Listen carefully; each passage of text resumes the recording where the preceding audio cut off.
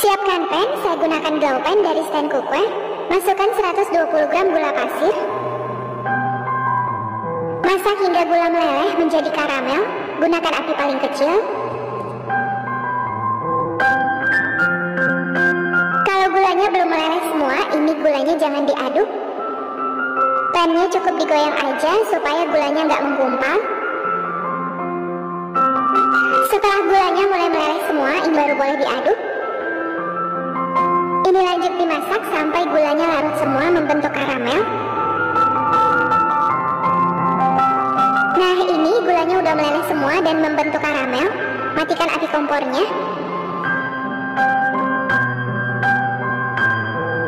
Tuang karamel ke dalam loyang. Saya gunakan loyang petak ukuran 18 x 18. Ini loyangnya tanpa perlu dioles margarin atau minyak goreng.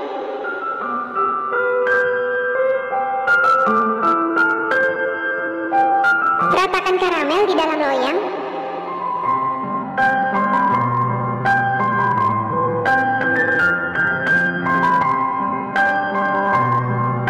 Lalu ini disisihkan dulu. Di sini saya udah siapkan 1 kg singkong. Ini singkongnya udah saya kupas kulitnya dan dicuci bersih. Parut singkong.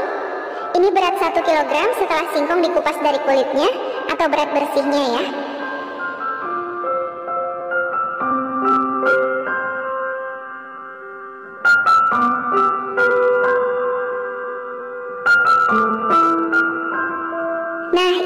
Singkongnya udah selesai diparut. Kemudian saring singkong agar terpisah dari airnya.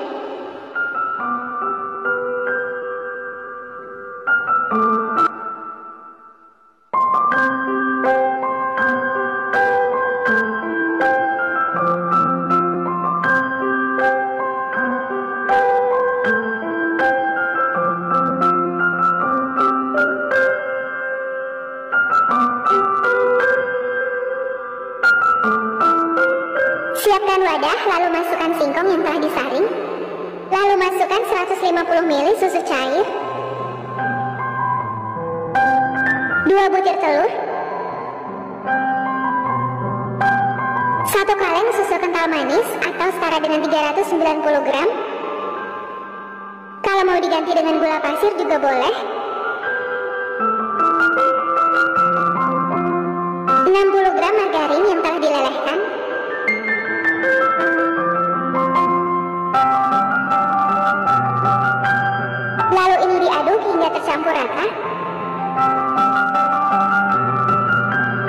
Supaya kuenya wangi, boleh tambahkan 1 sendok teh vanila. Kalau nggak ada vanila, boleh pakai seperempat sendok teh vanili bubuk. Lalu ini lanjut diaduk hingga tercampur rata.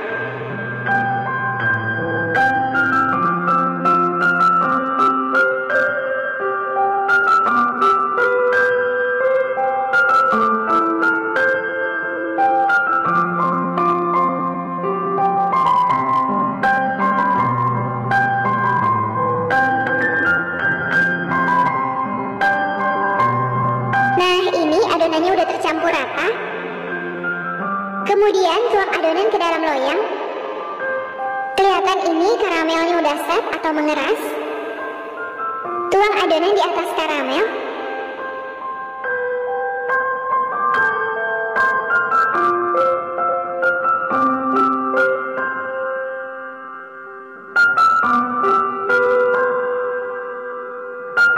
Ratakan permukaannya dengan sendok atau spatula.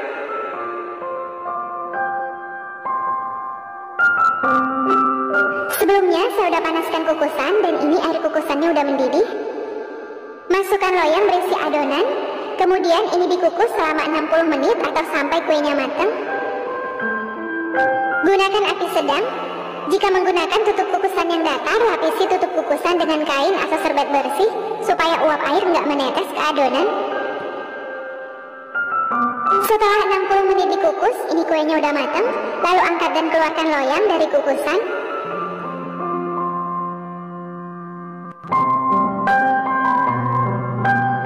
Biarkan hingga kuenya dingin, baru keluarkan kue dari loyang. Sisir bagian pinggiran loyang supaya mengeluarkan kuenya lebih mudah.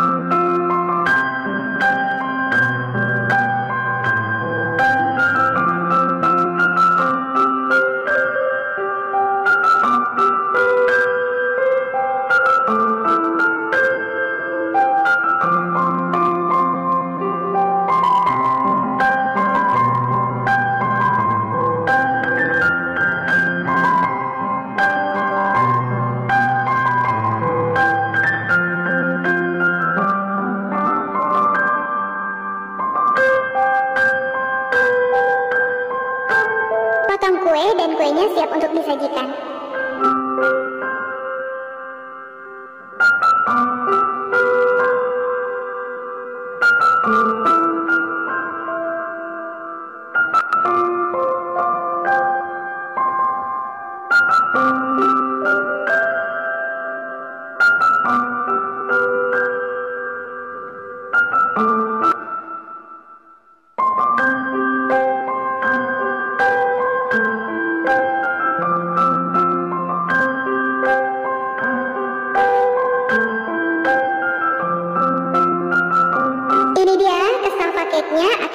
Singkongnya udah jadi. Sekarang saya mau cobain, ini saya ambil satu.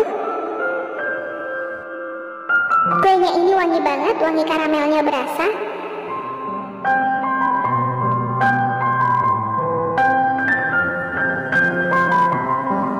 Dari potongannya berasa kalau kuenya ini lembut banget.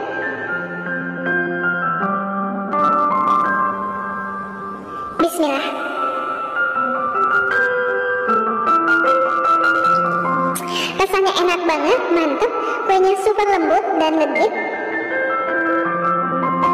Perpaduan kue singkong yang gurih dan manis karamelnya ini enak banget.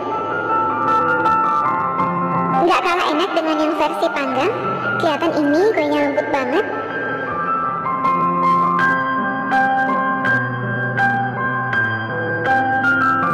Cocok buat camilan di rumah, rasanya enak banget.